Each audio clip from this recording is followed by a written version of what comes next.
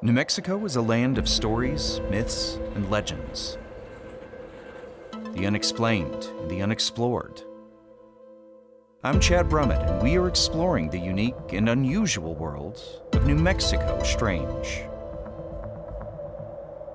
Hello, and thank you for joining us on this inaugural episode of New Mexico Strange. I'm Chad Brummett, and so glad that you are joining us for this. Uh, so, this is a new show that we're going to be doing here at KRQE, exploring all sorts of different stories. Obviously, New Mexico is ripe with UFOs, ghosts, chupacabra, whatever you want to think. There are some great stories that may be hiding under the covers, and this is the show that is going to unpack them.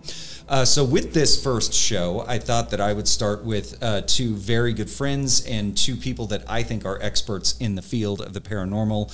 Uh, two guys that I absolutely love reading, watching on documentaries, hearing stories about. First up, uh, Mr. Ben Radford, who is an author, who is a podcaster, Squaring the Strange. Uh, and you have also appeared, you may think this guy looks kind of familiar. You've probably seen him on some National Geographic documentaries, History Channel. Uh, so, Ben, thanks for being here. Uh, sitting next to him, Mr. Cody Polston, who has the coolest hat in the building. Oh, uh, also, an author, a ghost tour uh, host, investigator. Uh, and uh, I, I, couldn't think of anyone else to do this inaugural show with. So, guys, thanks for being with us. Um, I want to start before we dive into today's topic, uh, finding out how you guys got into this. And Cody, we'll start with you. How did you get into ghost investigation, paranormal investigation? What what brought you into this world? It was I was young. I was like eight years old, and my brother and I were sent to a place called Camp Christmas Tree. So it's a day camp like a 30 minute drive out of Amarillo, you know. And uh, on the way to the day camp, we always pass this old house. Know, it's just like curiosity. Well, there's one time of the year where we're allowed to stay overnight. So the older group of kids, which I was in, they were going to take us to go see the haunted house, right? So uh, we got on the bus, went, there were like six counselors. We got off the bus, and they're leading us up this arroyo and we come across this cow that's been massacred. I mean, pieces of the cow were missing. Gosh. So the counselor's like, Ugh. so they direct the kids around, and I noticed even as a kid that some of them were like concerned. I know two of them left, and they were talking something about a sheriff, probably to go get that person. Anyway, they went and took us to the house anyway, took us upstairs, and they started telling us ghost stories. And what I remember as a child is a door opened, and I saw a counselor shut it, and then the door opened again, and the next thing, all these kids are screaming, and I'm in the middle of them, and they're rushing us out of the building, and then they're frantically counting the kids. Well, I'm watching the front door, and there's a window next to it, and it parts. And this big, bushy, bearded guy looks out. I'm, what the heck? Anyway, so they take us back. We're all locked up in a building with, with you know, the 22 rifles that they would teach us to shoot with. Yeah. It's Texas. and so, you know, I remember the cops showing up and then after that, it was like, did they catch the guy that hurt the cow? You know, what happened? My parents were like, nah, you don't need to worry about that. Don't, don't worry about it. Same thing with the counselors. They wouldn't talk to me. So I got, first of all, interested in horror movies like Dracula, Wolfman, you know, sure. the old Universal films. Oh, yeah, my favorites. And then I also became really fascinated with like Sherlock Holmes, Nancy Drew, the Hardy Boys. And you take those two things and you mix them up, and that's how I got into it. I, that's how my interest started. Yeah. So, okay. Okay, Ben, how about you? How did you get into this? That's creepy, man. I don't know about that. Uh, yeah, it's um, um, you know, I grew up in Corrales, uh, and um, I remember kicking around. Uh, I when I, I, would go to the local used bookstore. I'm always a big reader, writer, and this and that. And so I remember I would uh, take my allowance, five crumpled dollar bills, and walk over across the. There was a used bookstore across from Corrales Elementary where I went and I would see all these books like, you know, weirder than science and crazy things and just sort of these 1950s, 60s, you know, pulp, you know, terrifying UFOs, lake monsters, whatever else. And I'd buy these books. I'm like, this is so cool. So I'd, I'd you know, I'd, I'd take them back and I'd just spend summers reading and reading all these books. I'm like, oh, this is so crazy. But like, there was, I, it, I sort of got disillusioned because there were all these amazing, weird, wild, sensational stories, but they they were nothing like I was just a kid in Corrales living on dirt road, and there was all the all the exotic mysteries seemed to be far away. There was the Loch Ness monster in Scotland. There was you know allegedly monsters in dungeons in in London, wherever else, or UFOs, or else. And so I was like, well, this isn't really fair. I, I don't have anything cool. And then, um, and then I would walk on the ditches in, in Corrales, and, uh, and I would hear stories of La Llorona. Uh, and and you know a lot of my Spanish speaking uh, friends who I grew up with, they're like, "Oh yeah, this is this is real." I'm like, "It's real?" They're like, yeah, there's so there's this legend about this this woman I wrote about in one of my books who you can hear her wailing on you know moonless nights or full moon nights, take your pick, uh, f- crying for children that either she drowned or other people drowned, depending on the sto- story of the tale. And I'm like, oh my god, this this this is like it happening in my backyard. And then I, I later on, um, when I was uh, in in high school and college, going to UNM, I uh, took a job as a busboy at the Rancho de Corrales, uh, formerly known as the Territorial House, uh, an old adobe house uh, allegedly haunted. And so I spent time there, and I would talk to Mr. Jaramillo, Mr. J, and I would ask him, "Is there ghosts here?" And he was sort of he was sort of wink at me. I'm like, "That's not an answer, dude." anyway, so that's sort of what, what got me into it. And and uh, as I sort of became more of an adult, I, I realized that a lot of the these really dramatic stories I was reading about and I was seeing on unsolved mysteries and that's incredible and all these things is that there was there, there were a lot of wild stories, but there was very little actual investigation. Right. And I was like, these are really fascinating. Talk ghosts and UFOs and monsters and stuff. I'm like, if these things are real, I want I want someone to like go there and don't just say like it is said that Right. or somebody said like no it, I want to know the truth to it. So I that sort of launched me into it. Really? Okay. So today we're, we're literally and figuratively taking a page out of your book, Cody. This All right, this book, Ghosts of Old Town Albuquerque, um, and we're going to focus on three specific stories. But you know, I know that Cody and I, you and I had, had spoken before this, and I said, you know, what stories do we want to pull because there were so many of Yeah, them in Old there's a lot. There are a lot of different ghost stories. Um, and, you know, obviously, this is one of the oldest. You know, neighborhoods in in Albuquerque. It, In the state, really. in the state. Yeah, I mean, you know. So is, is that why there are so many ghost stories that kind of persist in Old Town? It's just because it it's old, or is was it a violent area? Would, would why why so many of these stories there? Well, um, a lot of it is the history. So our, our history has been sanitized. My next book that I have coming out is the unsanitized version. Okay, Um, our red light in Old Town was nuts. You you think of Dodge City and Tombstone, that is nothing compared to what Albuquerque was. Really? But it's not talked about anymore. Uh, you know that parking lot on south side of Old Town, the big parking lot by the Bottger Mansion? There were speakeasies there. We had 23 of them that ran open through Prohibition. And uh, the fact there were claims that the local marshal was kind of like just turning his nose to it, like he was on the take, you know. Um, and so it's just that. There's a lot of violence, a lot of that kind of stuff. But I think there's also uh, the cultural influence of storytelling from different cultures coming together. And everybody likes a good ghost story, you know, as entertainment. We all do. That's why horror movies are popular. And we got Ozzy Osbourne and Rob Zombie and Alice Cooper, you know, Yeah. that macabre element fascinates people, Yeah. obviously. So, Yeah. a combination of all of that. And if if you've never been in Old Town Albuquerque after dark, that that really also adds to it. Just the the the ambiance and the low lit ambiance and the old buildings and the old architecture. Even if you don't know the stories, I think that you can potentially fabricate some in your own mind. Plus, we've had the ghost tour there for what, what, 25 years Yeah. now? So, Which the honestly- stories are being talked about. if if you if you have never done the the ghost tour or the the, the walking history tour of Old Town, it is so worth it because it's just fascinating to find out all these stories and, the history behind it.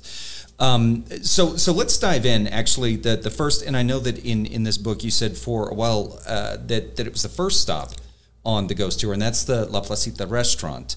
Um, Tell me a little bit about uh, what what you guys know about La Placita, some of the stories behind it, some of the history behind it, and we can unpack some of the the ghost stories that that supposedly exist in that building. So this one's kind of fun. I've done a little bit of research. I found the oldest ghost story that I found was told by a guy named Howard Bryan.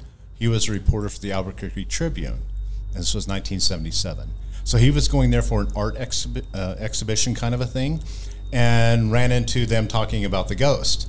So according to the article, it was Victoriana Armijo who had died of the plague, and they hear her voice like calling the employees. And other than that, it was silverware was being messed with on the table. So that's the oldest I could find.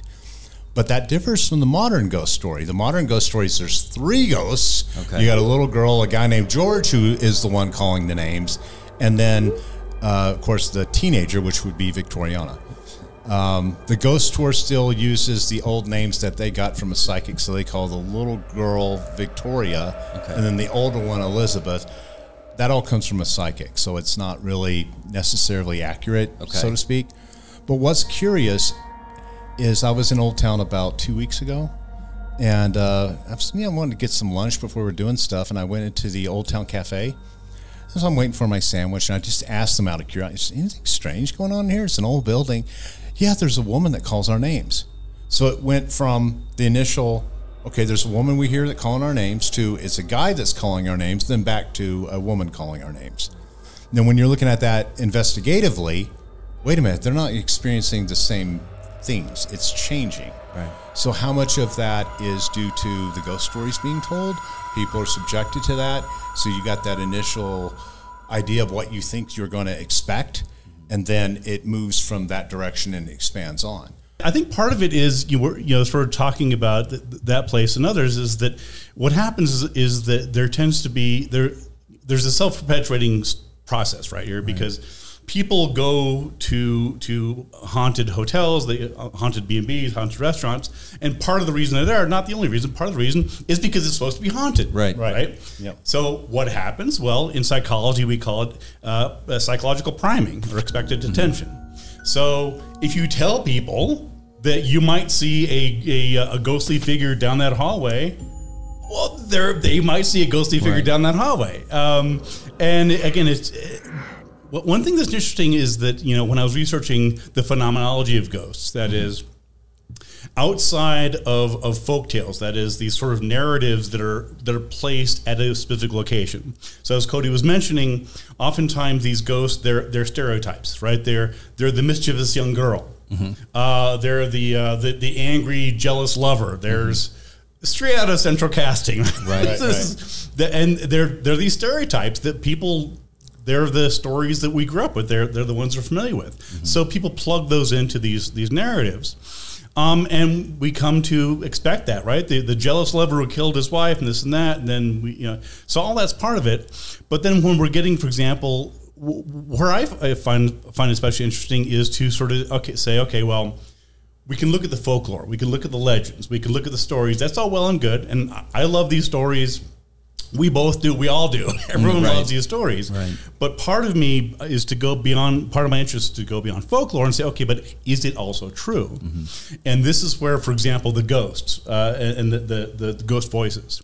So you know, the fact is that if it is true, let's just say it's true that that people are that this this ghost George mm-hmm. really is mimicking the manager's voice mm-hmm. or mimicking like we should be able to record that. Mm-hmm. Uh, and you know, and and this is true throughout Old Town. I mean, there's lots of security cameras, lots of people have HD cameras all around. So if these things are actually going on, there's no reason in the world why security cameras or just cell phone and everything else shouldn't be recording these phenomena on a weekly basis. Right. Right. So I got two points Uh-huh. that to go off what he went with. Um, the first one, I got really into reading a lot of parapsychology stuff, and you probably heard of this. They're, they're calling this stuff veridical hallucinations. Have you heard Yeah, of that? I've, yes. So they're what I, my understanding it correctly. They're saying it's happening in your head. It's not actually happening in the environment, which might explain why it's not filmed or whatever. Right. But the second thing, let me tell you a story, and I, and and kind of it explains a lot. Okay, so when I first started doing tours in Old Town, um, there had to be a way for people to find me. So they dressed me up as a Ghostbuster. I'm serious. I had a little pack. The pack was a CD player. Which one thing. were you? Were you the, uh, Aykroyd or? I, I was the, the dumb one. I don't know. And I hated it. one I hat. hated it because we, we went to Maria Teresa's back then, and people, who are you going to call? Yelling out of the car. Sure. Anyway, so I was doing a, this this tour for like thirty girls, right? And we go by that front window next to the front door, Mm-hmm. and this pack sucks because a the attachment that goes around your waist is really hard to get off, and the straps. I tried like putting washcloths around them to. they sucked. They they would dig into Just your, cut your into you. shoulders. Yeah. So by the end of the tour, and at this time we're doing La Placita last. Um, what was supposed to be, you know, a ninety minute thing. You know, it's Gilligan's Island. You know, a three hour tour. But I'm there. My shoulders are killing me. I'm talking to them. I got to do the last story. So I pick the pack up and I sit on top of the bars that are on the window. And I'm sitting there talking to them, and all of a sudden, all of them scream and just jump back. You know, I wasn't, I wasn't expecting it, so it made me jump. Sure. And when I jumped, the pack slid behind those bars, pinning me to the window. Oh my gosh. now, it took, I, I'll be honest, I freaked for like two seconds. But then Thinking like, that something had you. something had grabbed me, you know, and I, I could feel the bars. Oh, okay. So now I'm trying to fumble with this thing to get it off. Well, by the time I got loose, whatever had happened, it happened. Yeah. And uh, half the group bailed, no tip, just they were gone. the other half, That's an Really, easy that- way to get out of tipping. They're like, oh my god, run, run! oh, I gotta go. Bye. Yeah, Tip. later. Only five stars. Sorry. yeah, right. Uh, but the other half were excited, and I asked them what they saw, and they said they saw a little girl climbing up the window behind me. I'm like, okay. So um, at that point, the Southwest Ghost Hunters was involved with the tours. And so we have a skeptic element. So I go, okay, well, this is what they, I didn't see it, but this is what they claim they saw. Mm-hmm. A couple nights later, a couple of my skeptic friends were out there and they're sitting in that park bench watching that window. It's like, mm-hmm. there's got to be something. It, it, they said it was glowing and they're like, it's got to be light. There has to be light reflecting. And so I sit down, like, any luck? You figure anything out? And he's like, I don't, not yet. And as we're talking, we see it. There's a truck driving down, and you see this thing going up the window. Hmm. So what it is, and this is making an explanation, a very long explanation short. These were old windows. They're probably put in in the 20s. Okay. So you're cleaning them. So you're taking this ammonia or whatever. Right. It's paint. So as you're spraying the stuff, and then you got to wipe it. Right. And you're doing that for decades. It stains the glass. So what happens when you get a high enough vehicle like a truck and the lights hit that window, it's actually going uphill slightly. It doesn't seem like it, but anytime you're coming from the river going east, you're going uphill.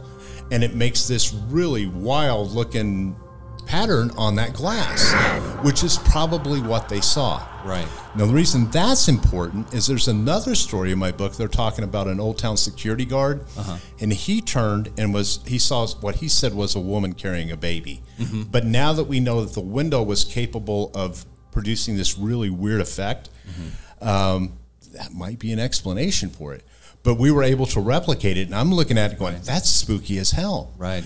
And so we did a, a skeptical ghost tour once a month, and I had it on there because it was such a great example of how people can actually really see something that's weird and how that would play into the story. But uh, that stopped in 2005 when the owner's son decided he was going to freak out the tour group, and he hit the bottom pane of glass with his hand too hard, and it broke it, and then it just released the pressure on the window, and everything shattered and my just went all over the tour guide. It just goes to show some of these stories might exist because they really do see something freaky that they don't understand. It's misperception of a normal thing. Right. And you would hit on something too, Ben, that I think may go into it, and that's priming an audience Yeah. and, and telling them, you know, this is what's coming up. We hear all these stories. And so, you know, I know that that human beings we try to find you know uh, relationships and patterns and you know it's the same that Sure, sure. you see you know why people think they see you know Mary in a tortilla or Right. that you're looking for these patterns and so if we're primed oh did you hear the story about this little girl well then we see this run our brain is immediately because we're primed we're thinking oh that's what it is i, I saw it Yeah, I mean, in in one of my books, uh, Scientific Paranormal Investigation, I talk about how it, you know people throw around these these words like like Bigfoot or psychic or ghost, but it, it's it, from an investigative point of view, it's it's they're best thought of as labels. They're labels for an anomalous experience, an experience they don't they don't, they can't explain right away. Because if you say, well, if you say I saw a ghost, what does that mean? With there, Right. there is not agreement on what- ghosts are, as, Right. as he mentioned earlier. I mean, I've talked to ghost hunters who are who are absolutely certain that ghosts are the, the spirits of the dead that have come back Mm-hmm. because maybe they, they can't rest because their their deaths were unavenged. Other ghost hunters say, no, that's completely wrong. You've got this all wrong. Their ghosts are actually uh, the, the, hallucinations. They we actually they're projected by our minds into the world. Mm-hmm. Other people say, no, that's not right at all. Again, all these are ghost experts, right? right? And other ones are saying, no, no, you, you guys are totally wrong. What is it's it's called uh, residuals. Uh, mm-hmm. Uh, basically, it's, yeah. it's, the stone tape theory. This idea that where there was a, a, a murder or battleground, that the the anger and the pain and the tragedy seeped literally literally ish seeped into the, the the the trees and the stones and the ground yeah. and that these are then replayed and so but i'm like well hold on here like these can't all be describing the same thing. Right. So so even the experts can't agree on, what ghosts are. Yeah. And so the point that I try when people ask me for advice on investigating the paranormal and ghosts specifically, I say, look, it, it helps to not is it, think of ghost as as a label for an experience. That is, someone someone saw something or heard something weird, and the best thing they can describe. It, it wasn't a Bigfoot. It wasn't a psychic event. It wasn't a UFO it, the closest thing is what people think of as a ghost. So, so it's that label. Moving on to the next location, uh, and you would kind of mention this idea of a residual haunting that something so horrible has happened. You know, I think of Gettysburg, mm-hmm. and a lot of people think of you know the Gettysburg is very haunted. Obviously, that that area of the United States saw tremendous tragedy. We have seen it here in New Mexico, mm-hmm. but specifically with La Hacienda. Um, I know that there was, at least in in the stories that were told on the ghost tour that there was a murder that happened outside uh, of the building. Mm-hmm. Um, there was a, a waitress, if, if, I remember correctly, that's a, a jealous boyfriend. Yeah, they, they were saying it's a woman named Mary. So, continuing researching, mm-hmm. I did find out that actually it happened, happened in 1985. Okay. The name is wrong. Okay. And, like, oh, okay. I'm just writing down what they're telling me. You know, mm-hmm. we think it might be this person, right? But like, oh, I found it and I said, okay, I want to do a blog post on it. So I think the name of the blog post is Uncovering Haunted Secrets in Old Town. Mm-hmm. So I put it in there. Uh, the name's wrong. Some of the details of it are wrong. Mm-hmm. Uh, it's not by the tree. It was actually a little bit more over. Okay. But here's the thing. Uh, I got contacted by the family. Really? And they were like, "Well, thanks for telling the truth because you know it's like, how do you guys feel about it? Because that's your relative right. that they're talking about. This was a real about. person, and they're all. And today, I was walking by. Uh, couple again a couple weeks ago after the the old town thing and they're like mary can you please communicate and i'm looking at it now going that's just really disrespectful mm-hmm. and so i actually have a, I put a request in with my editor to edit Okay. Um, Edit the story. Of, yeah, because now that I know it's not just folklore or, story, which a lot of times it is, but it's a real thing. Right. And it's not related because if you look at the history, the hauntings are earlier than that, so it has okay. nothing to do with it. Okay. So it's like you know, I'd like to take that out and correct a couple other things that I've found over time that have been wrong. Some of them are history bits, but that's the way we are. We learn. We you know as we sure. continue on. But um, yeah, so it's that's one of the ones of I don't think it's related at all to anything. It was just something that someone thought because they were having experiences in the gift shop. They knew, they heard of that, mm-hmm. but the information that was put out was wrong. But now that we know that it was tragic and not that long ago, mm-hmm. um, I wouldn't do it if I was doing the tour. And I'm re- I would want to pick up on what, what Cody said because I think that's that's a really important and often overlooked aspect of ghost hunting is that in a lot of cases, not all in some some cases, there's no evidence at all that anything ever happened. It, right. It's just sort of the folklore and the legend, and the psychic comes in and says something that nobody can verify. Mm-hmm. But in some cases, Cody's right. There, like the people have died there. Right. There's verifiable. There's verifiable evidence.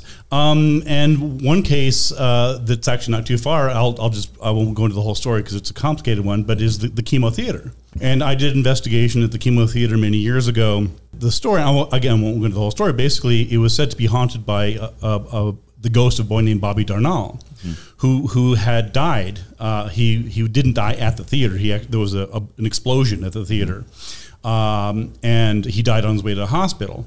Uh, but to this day, people say that if you don't leave donuts or other things for him, that he will ruin the performance and and do bad things to you.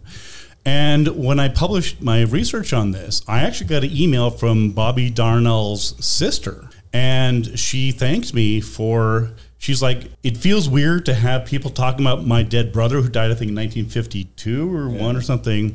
It's like, he, he, you know, Bobby's not haunting the theater. I was like, I know you guys enjoy your ghost lore, and I'm not trying to bring the house down, but Right. she's like, you know, so she, she was thanking me for sort of telling the true story about it and, and showing that Bobby almost certainly didn't didn't die there, Right. Uh, and he has no connection to the the ghostly hauntings. Spoiler. But that's but that's you bring up a really good point too because I mean it's it's been used you know that story has been used so I mean I've taken the ghost tour a number of times and every time that's one of the locations you stop at the tree behind La Hacienda they tell that story um, what were some of the other stories that were going on at La Hacienda Most of them were. They think it's Sophia Bueller, who was you know, the wife of the man that built it. okay Um, a lot of the stories. There's one that I was interviewing one of the managers. We were upstairs, and you could hear music, and it sounded like you know just normal music, right? And he's like, "That's weird. That sounds like it comes from downstairs." Like, did you turn the? You know, they have the the speakers to play the music while you're dining. Sure, Like, sure. He's like, "That's off. I don't know what the heck that is." So we went downstairs, and there's nothing. Went back upstairs, we could hear it. Like, you sure there's nothing up here? It's like, no, it's all downstairs. So open the window. and I'm listening out. Maybe some from outside's coming in, and you could still hear it. So that was probably like the strangest, we'll call it. Yeah. But even with that, uh, there's also stories of uh, the women's bathroom. I probably one of the favorite ones because it's kind of funny. Uh, women went in to use the restroom, and she said a hand, you know, came underneath to give her toilet paper, and she thanked you. And then, but she was the only woman in the building, so she freaked out. Sure. But you know, there's all, all kinds of little stories like that. But uh, the oldest one was recorded by the WPA, and it was a woman named Frances, and this is in an interview. Uh, she said she came in to the building, first one inside, and there was a cup of coffee on a table, and she went and she picked it up, but the cup was hot, like it's fresh coffee. Mm. And so she puts it down and goes, oh, the cook must have beat me here. So she went back to look for him. Well, here he comes in the front door. He just got there. So it was like, who made the coffee? You know? So it's like little stuff like that. Like, why would the ghosts make real coffee? That's Right. not like they could drink it, you they know? sound like really helpful ghosts I mean they're Yeah. handing you toilet paper I would like a ghost that made me, yeah, give me toilet paper and coffee. Yeah, uh, that's, yeah cool. you know maybe they can go down and get the mail while But they're you at see how it, these you know, little take the garbage you out get all these little tales, and then you start as the story's going from one person to another, they become more spooky, and you start adding more details, and then next thing you know, you got this full blown. Oh, it's Sophia Bueller, and well, why is she haunting it? Because she died, and you know, you know, you know, like why? That's not There's a good no enough reason, in my Yeah. book, right? Right. You know, There's nothing lots of people tragic die. Come on. that happens there. Right, right. But it's an old building, and it, you know, it has a kind of a, a neat little past to it. Well, I think the other thing to keep in mind is that when we're talking about Old Town specifically, uh, it's a beautiful area, historic. It's just cool. I mean, I've Yeah. lived here most of my life. I still enjoy walking around. Oh, yeah, like it's all sorts of stuff. But there's a couple things about it, right? So, as Cody mentioned, as you talked about, it has this rich history. You, you can see it. It's it's it's you can literally see the history, right? The- but there's a couple things. One, of course, is it's even the name old. Well, you can see where I'm going with this. What what is a characteristic of old buildings? Uh, wonky electricity. I know this for a fact. Yeah. Sure, Um, sure. Settling, uh, timbers, uh, adobe, um, um, mice, rats. Uh, I'm, I'm not, not calling out any health department code violations, but the fact is that old buildings, by definition, by their nature, tend to be uh, they have things go wrong. And the other thing is, you know, Cody's mentioning the the sound and where you have sounds coming. up. Well, Old Town is pretty densely packed.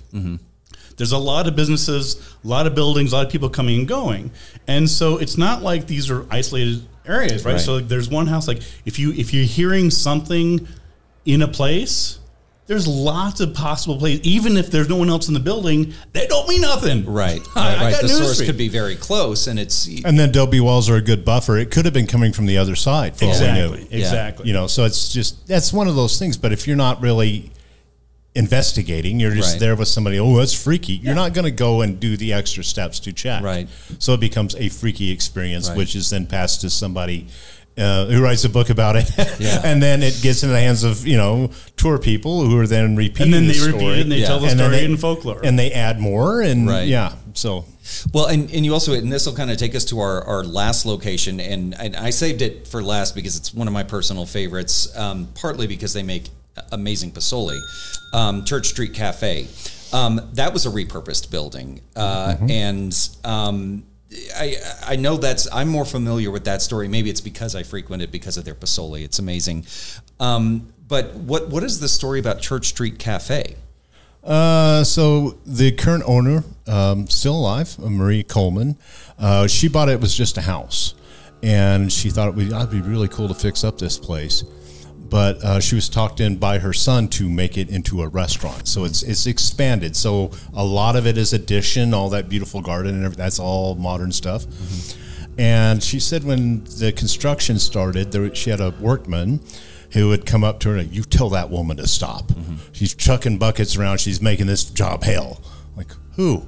And he said it, it was a ghost. And she believes it is the ghost of um, a woman named Sarah Ruiz, who was the last living member of the family. They got a lot of weird traditions there, like supposedly if you don't sell, tell Sarah goodnight when you're leaving, she'll turn the lights on behind you. Ben already brought that up, wonky electricity. Uh-huh. But it, there's that, that whole concept of it's old, there's stories, and then it just expanded.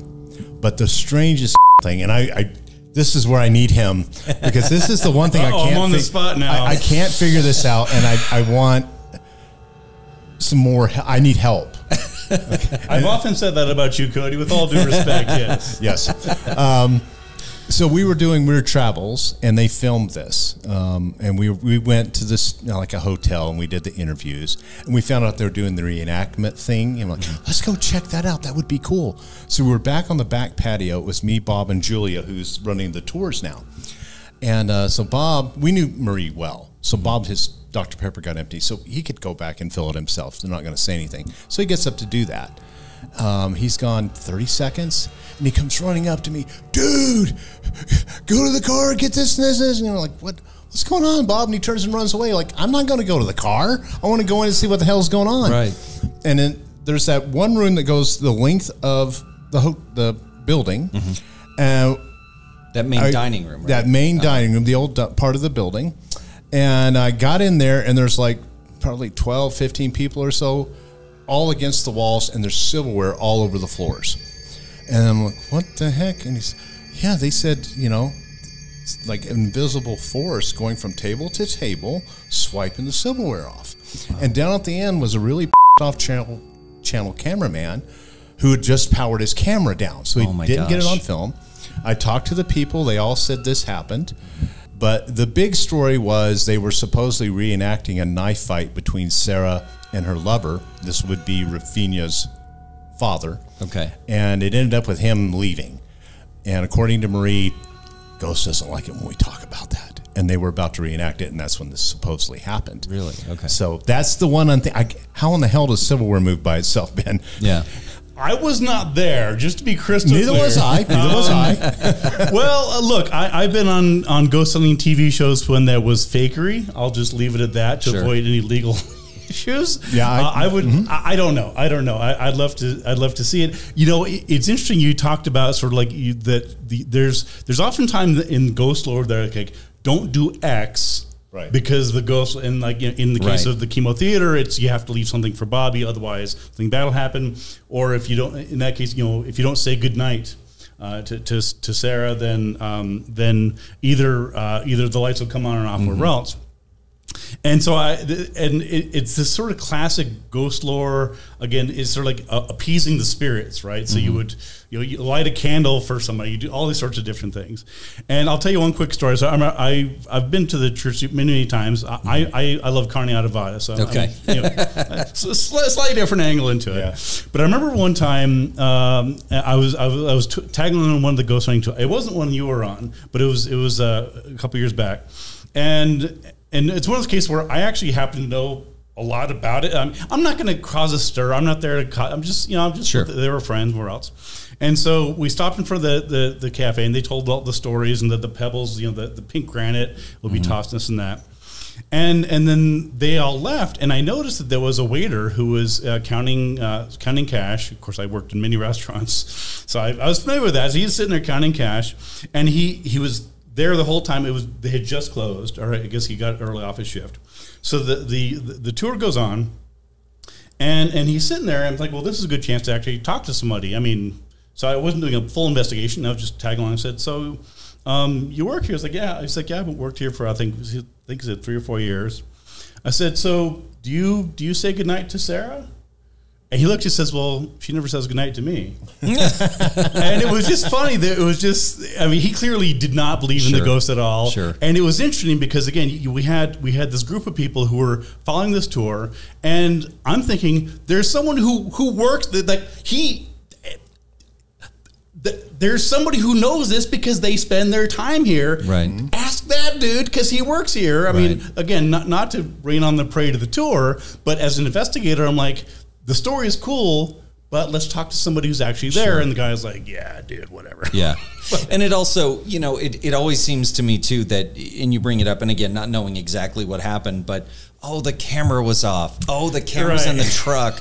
Oh, I didn't have Right. the. It's always Right. like it's always just That's my that's You my shoot doom. TV I for a always, living. That's what you I do, dude. always it's I don't see it. I'm there after. Right. In fact, uh, the, a few weeks ago, um, so New Mexico PBS is going to Mm-hmm. do something about the Ghost of Old Town, and they were doing the reenactment part, and so I went with them, and. Um, they were doing the reenactment stuff in the uh, Old Town Cafe, Uh-huh. so the far end of north end of La Placita, and they were like, "Well, we're running behind because it's take. You know how it is. Sure. Take, take, take, take. Sure. So, okay, I'll run to Church Street, let Marie know you guys are running late. So I left.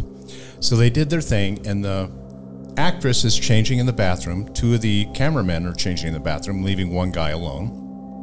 And they hear this big crash. And so they, okay, everybody runs out because there was no one there from the business. They literally gave New Mexico PBS the key. Oh my gosh. And Okay. trusted them to lock it up. So I looked around, there's nothing wrong. Well, the camera guys went out and they said there was a couple standing outside looking in the window watching some of what they were doing. I said, "Well, what are you guys doing?" "Oh, we're just we're just doing a documentary thing." You know, they didn't go into detail. They, "Oh yeah, the little girl was really cute." And then they turned around and walked. And so they ran, of course, to me. Oh my God, we just there was a little girl showed up, and I'm like, "Well, I wasn't there again." but it's like if I would have been, the first question would have been, "Are you local?" Uh-huh. Right? Do they know the ghost stories? Are they messing with the camera crew? Right. Because it would be obvious what we were filming. Right. Um, as we wrap things up here, um, if, if people listening to this, my, my hope is that they they get excited to just go to Old Town and you know maybe patronize these businesses, eat there, maybe do a little bit.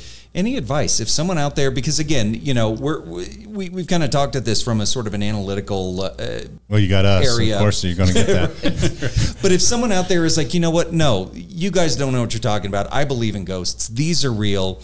What advice would you give someone if they want to go out and they kind of want to experience this themselves to just have a good time? Um, but you know, like if you're going to go out and ghost tour, do blank. What would you do to fill in that blank? I enjoy the ghost stories, but like I've, I've said, you know, take it with a grain of salt. Yeah. Uh, we do not know how they change over time as the story's being passed from person to person. So you might be hearing something accurate, you might not be hearing anything accurate. Um, but yeah, just take them for what it is. It's just a story. I have no problem with ghost hunting groups as long as it's entertainment. Where I have a problem is they say we're scientific. You're not. When it, we got evidence, no, it's not. Um, just be honest about what you're doing. Having fun, good time, just enjoy it. Then what about you? Yeah, I would. I, I I echo everything that Cody just said. Um, yeah, go enjoy it for what it is. Don't assume that the uh, the Ghost Hunters tour is telling you the true stuff. I, they're not necessarily lying. You, you're paying to be entertained. Right. That's why you're there. Right. So so if you're wanting the if you're wanting the true story behind it, uh, Cody's written books. I've written books about it. This and that. By the way, if you're going to be going to Old Town, go to Treasure House Yes. small Okay. in, local independent bookstore where you can buy where you can find books by both of us. Yes. Uh, yeah, and just enjoy. Be be in the moment. Put away your cell phones.